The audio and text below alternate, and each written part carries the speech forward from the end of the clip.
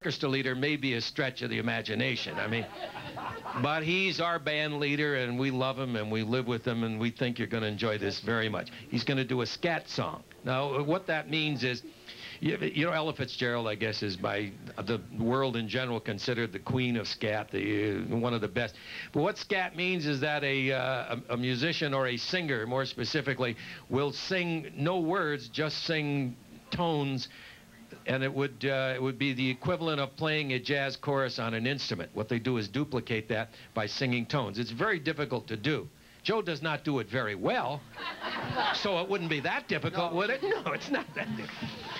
I got to tell you something. He'd be embarrassed if I tell you this, but I'm going to anyway. Some years ago, uh, dear mutual friend of ours uh, brought the late Sarah Vaughan, who was probably the greatest singer that ever lived, in to see Joe Darro, and she heard him scat, and she said he is the best she's ever heard in her life. Now, you're talking about first class. So we present you our own Joe Darro doing a little bit of Duke Ellington's Take the A Train.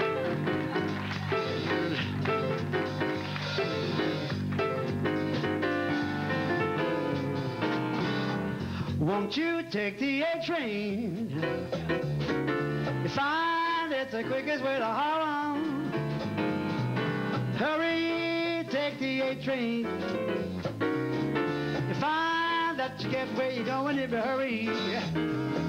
Don't need no subway or an airplane. All you really need is an A train, A train. If you should take the A train, baby. You find out you get where you're going if you hurry and you never got to worry. Go just about the way down and down.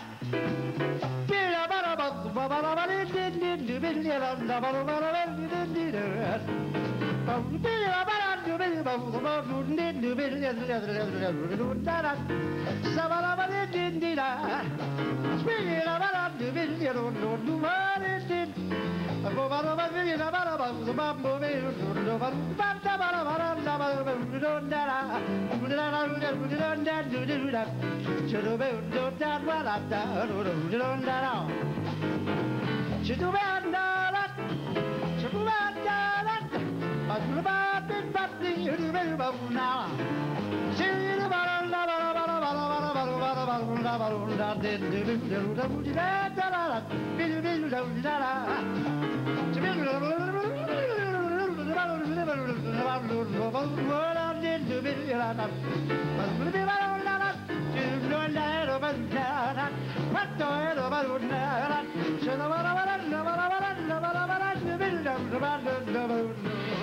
Won't you take the A train? The quickest way to Harlem. Hurry, hurry, baby, don't you worry, worry, baby, don't hurry, hurry, got a little train. Don't need no subway or an airplane. Ah, all you really need is the A train, A train. You should take the A train, you find it the quickest way to Harlem. You're gonna find out,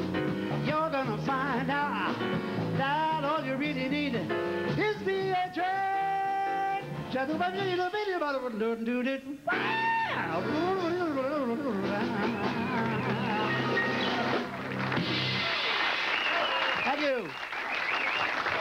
Thank you very much. Thank you, Peter.